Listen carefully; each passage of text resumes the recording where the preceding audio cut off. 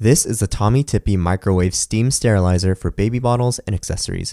It can sterilize up to four bottles and is compatible with most brand bottles, teats, soothers, and breast pump accessories. To use, pour 200 mils or 7 fluid ounces of water into the base, add your bottles and accessories, then secure the lid on top.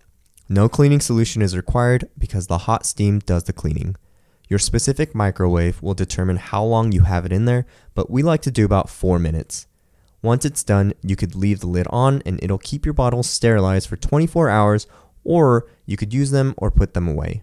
This has really helped us easily provide lots of sterilized bottles for our son, and it's simple to use, and we could sterilize up to four bottles at once.